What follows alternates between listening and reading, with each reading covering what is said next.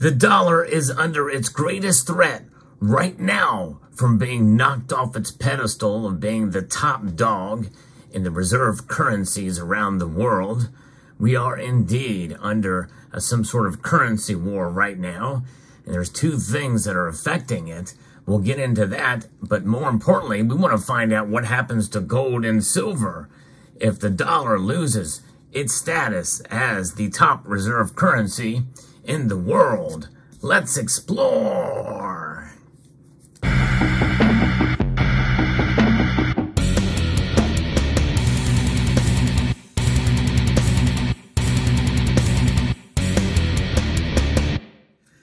The pandemic and the war against Ukraine are two things that are having a great impact on the dollar's reserve status around the world.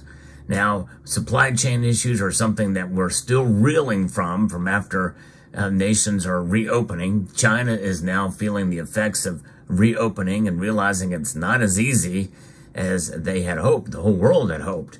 And China is an important uh, factor in the world economy, but they're also uh, de-dollarizing.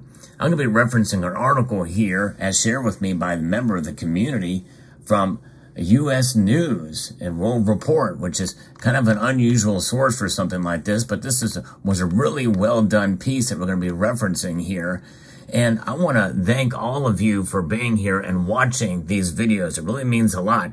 And if you are a new subscriber, post down, post down in the comment section below to let me know that you have subscribed so that I can properly thank you. One of the most intriguing trends that we've been seeing is the de-dollarization movement. You've heard me talk about it here on this channel for quite a number of months.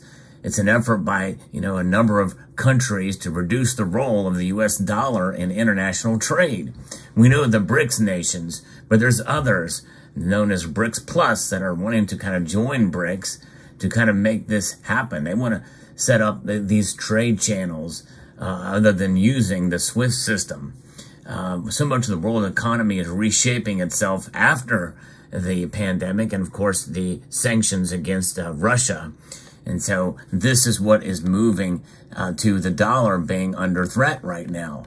But before we get into what gold and silver is going to do if the dollar loses its reserve status, let's talk a little bit about the background, because I think this is the crux of what is mentioned here in this piece uh, to, for us to kind of really understand how the reserve currency system came into being in the first place.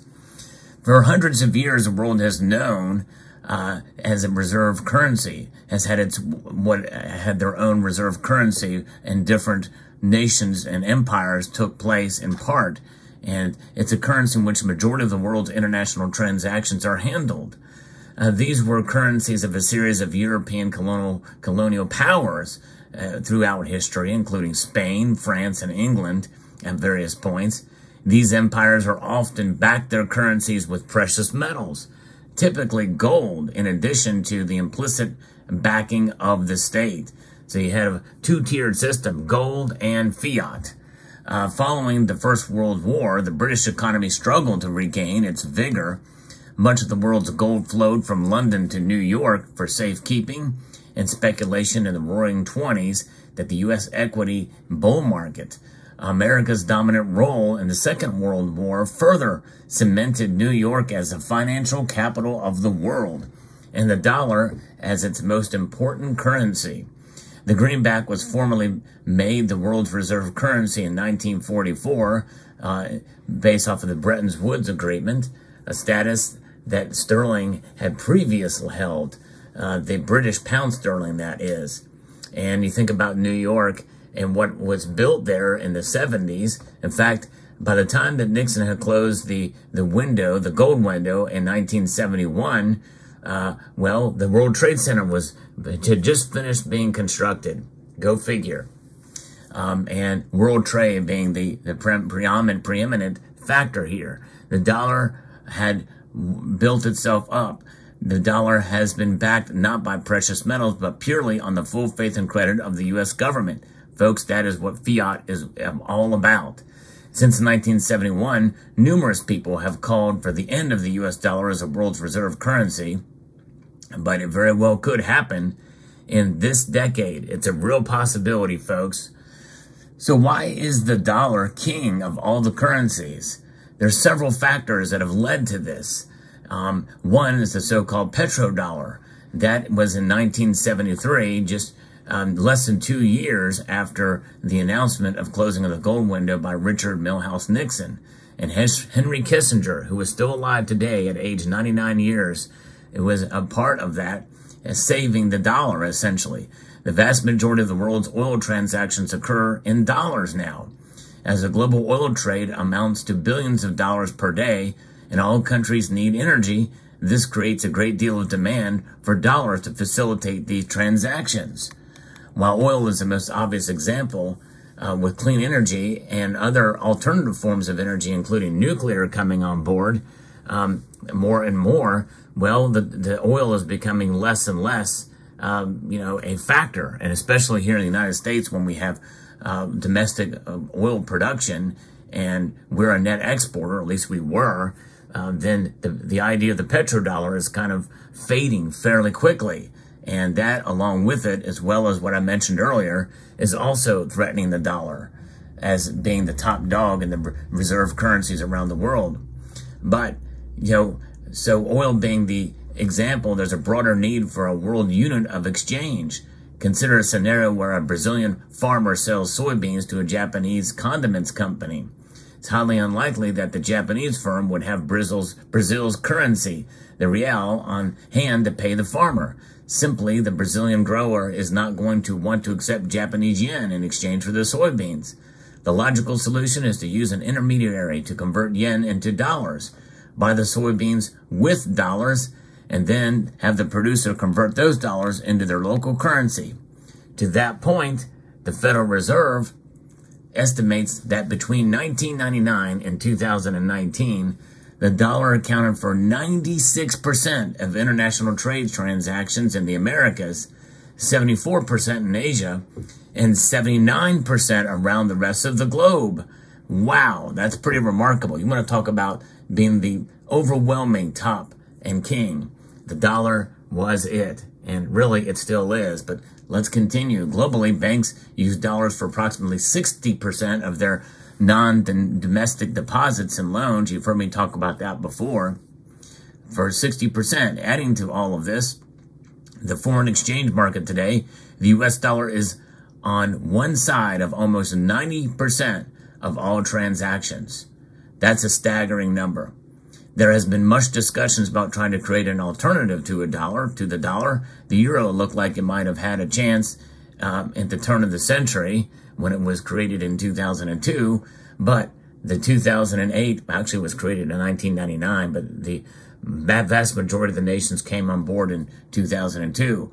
But the 2008 financial crisis and various political and economic shocks in Europe since then have diminished the standing of the Central European currency as a world standard. Japan has its own issues with a stagnant economy and shrinking population. China is unlikely to become a reserve currency anytime soon, given the extreme capital controls that its government places on the use of the yuan. But keep, keep, in mind that there are one of they are the top leader in the BRICS nations, and they want to de-dollarize, and they want to make the yuan the top currency.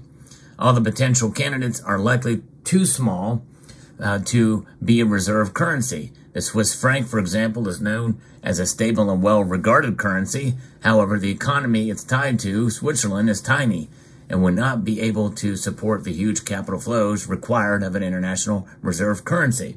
A little side note, there's more gold per capita in Switzerland than anywhere around the world.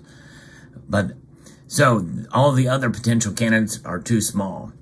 Uh, so the past year that we've seen has reignited this de-dollarization movement because really in the early 2000s, the euro was supposed to be it. But the period of instability in the monetary front, we have seen the invasion of Ukraine and the reopening of the supply chains. Translated into some direct action. The U.S. dollar now accounts for 58% of foreign exchange reserves held by overseas central banks, which is now a record low Gold, the most ancient widely accepted international currency, has chipped away at some of the dollar's dominance. That's right, this metal right here, accounting for 15% of reserves, up from 11% five years ago. You've heard me talk about how central banks have been adding much more gold to their portfolios lately. Now, inflation is another issue. Since the 1980s, the United States has maintained a low and steady inflation rate, giving savers around the world the confidence to hold their assets in dollars. Over the past year, however, inflation has soared to previously unimaginable levels, calling into question the security and stability of the dollar for long-term savings and investments. And then we saw the banking crisis that occurred earlier this year with Silvergate, Silicon Valley Bank, Signature, and First Republic, and then the most recent one with the Tri-State Bank in, in Kansas. These crises appears to have largely been contained until recently as the U.S. and Treasury Federal Reserve were forced to step in with unprecedented guarantees in order to quell the crisis. It's unnerving in its own right, but it also chips away at the credibility of the U.S. economy uh, more broadly. Strings of bank failures are what people expect in struggling emerging markets not the financial capital of the world. And by the way, we have them. Credit Suisse is another one um, that happened in Europe. Against this backdrop, leaders of countries that we've seen in the BRICS, China, India, and Brazil, have been calling for moves to trade directly with each other in their own currencies while cutting the U.S. dollar out of the equation. So, with all this being said, what would happen to uh, the dollar uh, if the dollar loses reserve status, and then what would happen to gold and silver. It's important to realize that the reserve status is something that historically has been gained or lost over a long time horizon. It's unlikely that the world will wake up one day with dollars no longer holding international appeal. Rather, an example such as the British pound, there was a multi-decade process in which it went from the center of the world economics to second-tier currency. That said, if the dollar gradually loses its place atop the world financial pyramid, what would happen next? And I believe that is what, how it would occur, by the way. For the U.S., it would likely mean less access to capital, higher borrowing costs, and lower stock market values, among other effects. Having the world's reserve currency has allowed the U.S. to run large deficits in terms of both international trade and government spending. If foreigners no longer want to hold dollars for savings, it would force significant belt tightening at home. And how would that affect gold and silver? All you got to do is take a look at the charts over at Kitco to get your answer to that question. In fact, we did uh, very recently on a live stream with Aussie Girl and talked about how in Australian dollars, uh, buying gold and silver is is quite an expensive proposition. And that would happen with all commodities. Even just speaking of gold and silver as pure commodities, their price would go up maybe even close to double. So I think that very well could happen. Maybe not exactly double, but they could go up dramatically because essentially the dollar would be worth less for transactions around the world and relied upon less. Right now we have the luxury of being the, uh, running high deficits. And even with inflation where it is, the fact that it, we're scaling back in inflation means that the world still has confidence in the dollar. But nonetheless, if a gradual decline means a gradual increase on gold and silver prices in dollars, and likely it would uh, potentially fall in other currencies, or at least stabilize in other currencies, stay the same, or maybe dip down a little bit. So Americans would feel the pinch for once of what it means to have high gold and silver prices in dollars, which would mean a lot less than it would be if they were to be go up right now. So let's take, for instance, as I look at the charts right now, gold is trading at $2,958 in Australian dollars.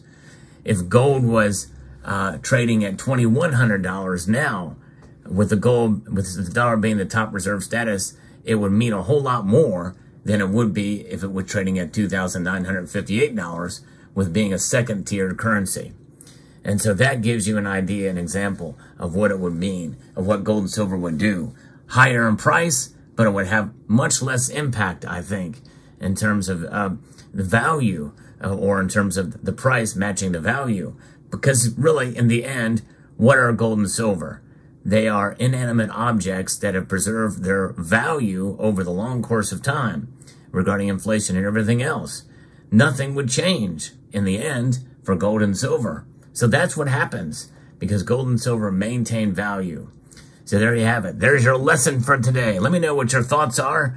And I want to uh, extend a multitude of gratitude to each and every one of you for taking the time to watch this video and to encourage you to please rate, share, comment, and subscribe.